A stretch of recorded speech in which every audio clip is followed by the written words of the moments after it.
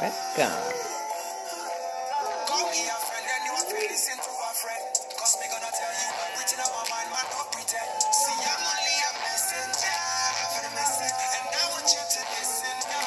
To the message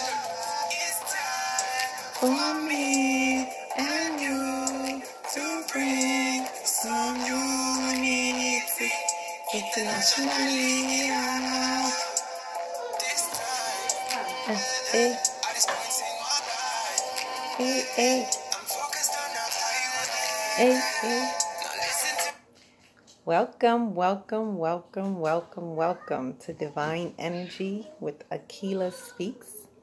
It's time. It's time for that unity, U N I T Y. It's time to bring that energy. It's time for the veil to come down. We're entering into the age of the Aquarian. It is that time. It's long overdue for me to get this out. I'm finally here to those of you that have been with me on Facebook Live. I've been trying to get this out for months. So here I am. I finally arrived. I'm doing my first recording with YouTube. Um, so welcome to the page. Um, I may change the name, but for now it's Divine Energy. Welcome into the energy. And like I said, we're talking about the veil. We just passed the conjunction on Monday. It was a great, great day. I explained some things about that on my live. Um, being this is my new page, I'll go ahead and explain it again.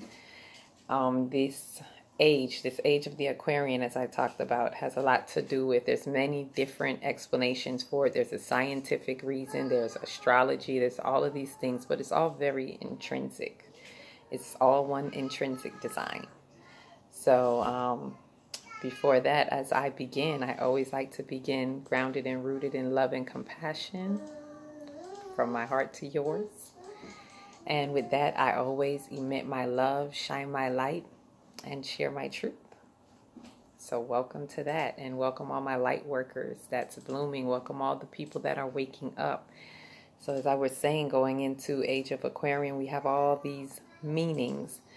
Um, I'm going to give what I got, what downloaded in me, which was the evolving consciousness in the way that